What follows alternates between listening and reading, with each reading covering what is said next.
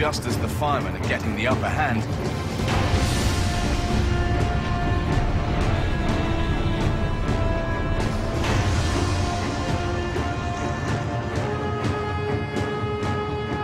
the empty fighter is now on a collision course with a residential area.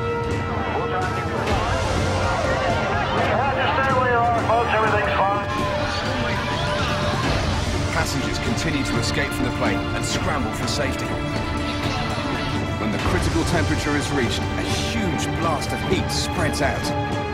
The explosive fire radiates heat so intense that people more than 200 meters away suffer third-degree burns.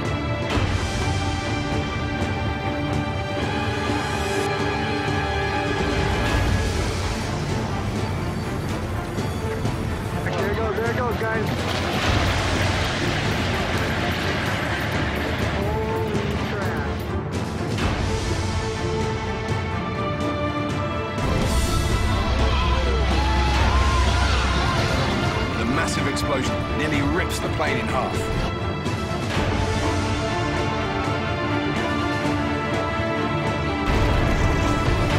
As the explosion erupts, a powerful shockwave spreads across the landscape.